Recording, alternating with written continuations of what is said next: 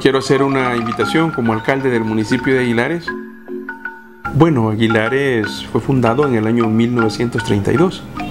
Eh, se tomó su nombre del apellido de los próceres padres Aguilar. Ellos tenían acá una casa en Aguilares, en la Hacienda La Toma. Aguilares tiene muchos atractivos. Aguilares tiene la dicha de tener el sitio arqueológico más grande del país y es el sitio arqueológico Cihuatán.